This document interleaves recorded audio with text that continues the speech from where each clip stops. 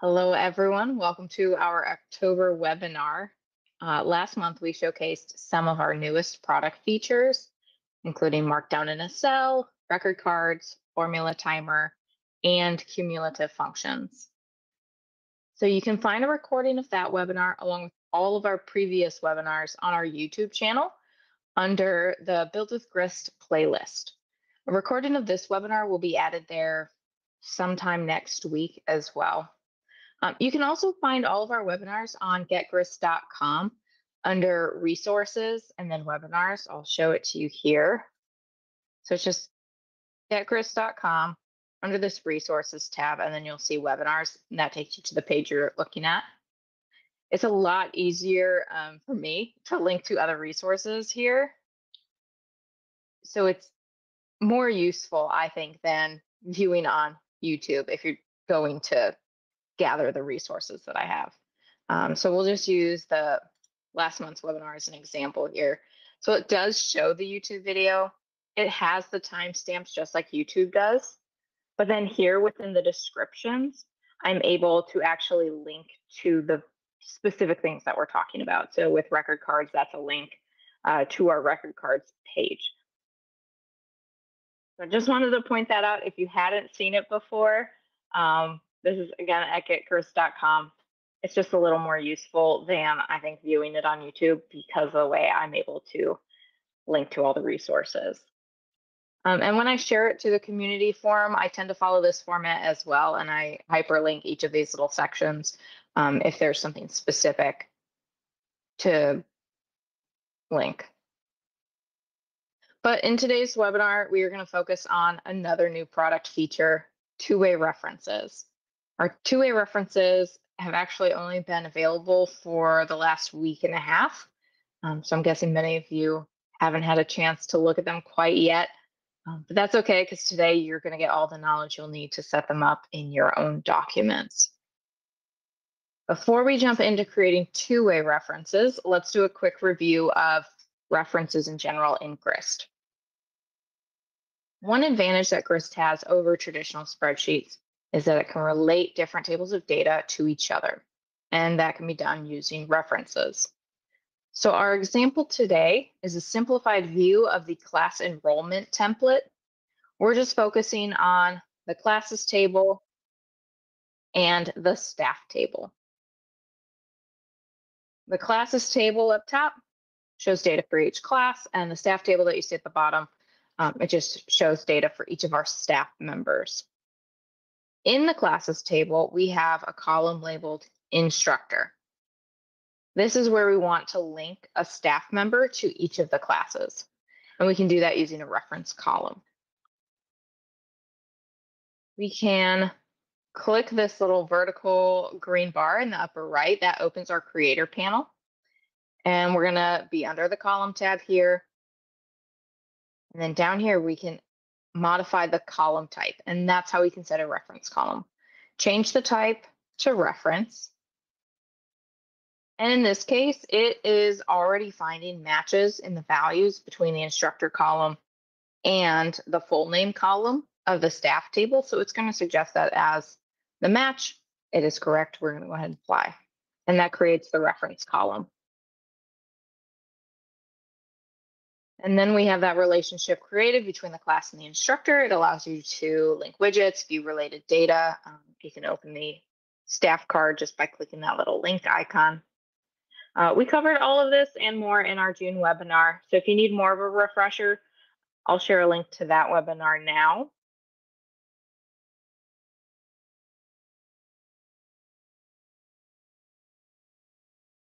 Question that was submitted during our registration was, what is possible now that wasn't possible with only the one-way reference?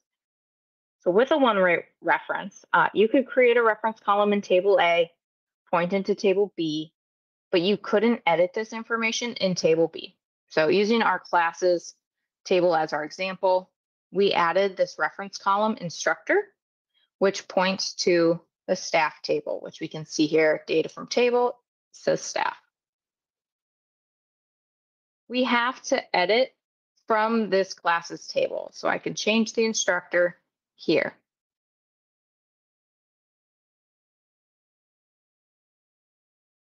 But we cannot edit from the staff table. Two-way references makes that possible, so you can edit from either table and the data would be synchronized. So to update a reference column, to the two-way reference, you first select the reference column, and then over here on the right-hand side in the Creator panel, just under the column type area, you see the green text that says Add Two-Way Reference. Give that a click, and it creates this classes column here.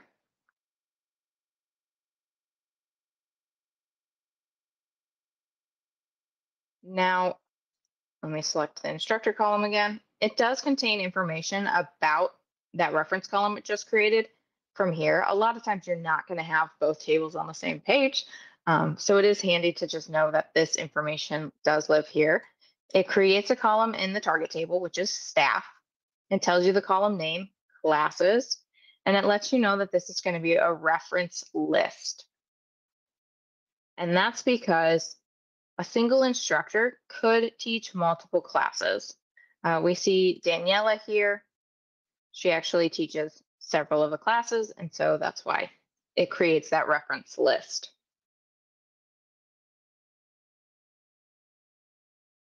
Now, again, because normally these two things aren't on the same page, you can edit that source table directly from here. So again, I selected the instructor that's where we created the two-way reference. If I wanted to edit that, I can click this edit icon and it's going to give me a view of that staff table where it created the new reference column, classes.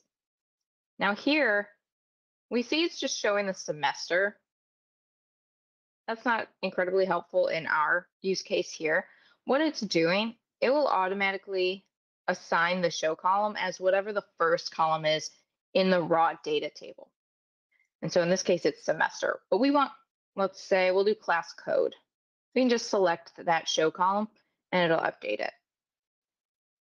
And so again, to do that, all we were doing, we have the reference column selected and we just clicked edit.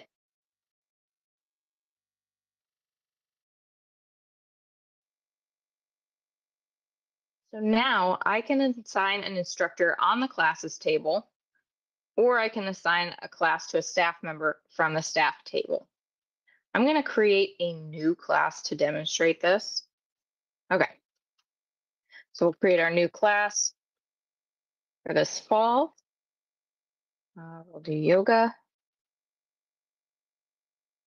So normally you would assign an instructor here, which we probably all know how that works, but we can actually do it from our staff table now uh, from that two-way reference column. So let's say we're going to have Helette teach this class.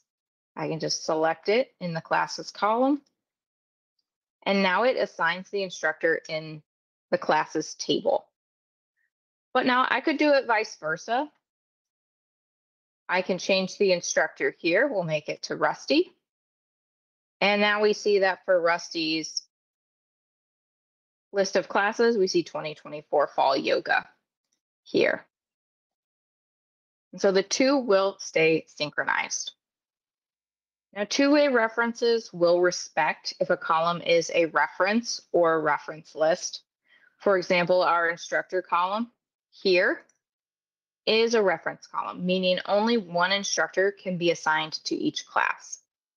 If I try to assign a class to a staff member where another instructor is already listed, I'll see an error. So again, we'll just use this 2024 fall yoga. Rusty is currently assigned as the instructor. Let's assign it to Laura. Double click, select 2024 fall. And now I get this error message letting me know that it's already assigned. And it does spell it out for you. So here we see that 2024 yoga is already assigned to Rusty. I have the option to reassign to Laura just by clicking the checkbox and then reassign.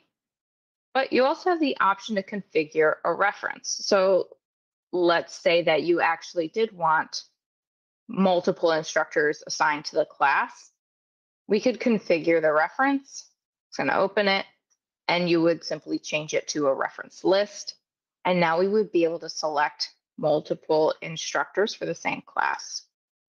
So let me do the same thing. So now if I assign 2024 yoga to Laura, I don't get the error and she's just added as an instructor with Rusty. So the last thing to cover uh, with two-way references is actually deleting a two-way reference. So two-way references can be deleted two different ways. I'll show you both. Feel free to stick to whichever one feels most intuitive to you. The first way is to simply delete the reference column you no longer want. For example, if I want to delete the classes reference list column from the staff table, I can right click it and simply delete the column. Now, when I click on instructor, which was our original reference column, I have that option again to add a two-way reference. Just click it, make these so it's back up. Now the other way uh, to do it, that one, let me jump back. That one's pretty straightforward because again, you right click, you delete, you're deleting the exact one that you want. Whereas we're now going to go the other direction. So if I click on instructor and I want to delete the two-way reference, that means it's going to delete the table, uh, sorry, the column in the target table. So here I can click delete. It's going to delete the classes column in the staff table. So I click delete it does give you a warning message telling you exactly what it's deleting. So here it says deleting the reference column classes in the staff table, but the reference column instructor is going to remain in the current table classes. And we can click delete. And we do see that it's gone here from the staff table. We have a question here. Would this help in a many-to-many -many situation?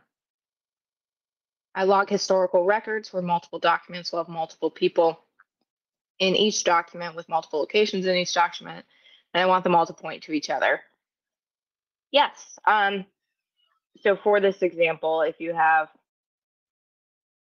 multiple documents with multiple people, you could have these two-way references. So let's say documents has a column people, um, the people table has a column documents. Those would be the two-way reference. And then you could update the documents from the people table. You can update the people from the documents table. Same with location. So that would work uh, in that situation as well. Um, in the many to many case, personally, I think that this would actually make it more useful, easier even, um, just because you can do it from either location.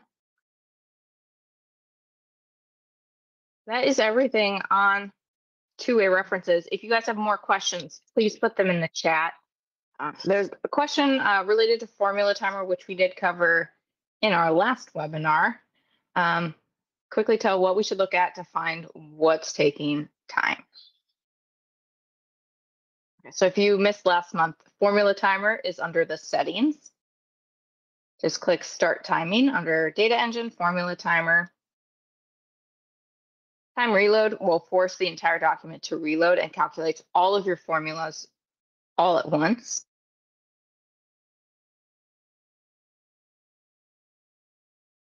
And then you come to this formula timer page. A big note on this page, if you click away from it, this table will disappear and you would have to recalculate your formula timer. Um, so if you want to look at this side by side with something else, open stuff in another tab. Again, sort total time, Z to A. So you have the columns that calculate the longest at the top. This first column shows your table ID. Um, that's let you know what table the column is in that's causing problems. And then here's the column ID. Uh, the column ID and your column header are typically very close. Any spaces or extra characters just get replaced with this underscore. And so that's how you find what is taking the most time. Uh, uh, sorry, table ID, column ID, and there's the total time. Anything over a second is worth looking at. Um, if you have a lot of data, you're going to find that some of it just takes a while, even if your formulas are as efficient as they can be. Um, and then the question is, how did you get to the timing page again? That is under document settings, which is found here under the tools menu in the left-hand side. That brings you to the document settings page. And then the second box down is the data engine. And then here is the start timing button. If no other questions, we'll end it there. But if you guys, uh, again, have any questions as you're working in your own documents, definitely post to our community forum and we'll be able to get you answers. Again, that community forum is linked. But thanks again for joining and we will see you guys next month. Bye, everyone.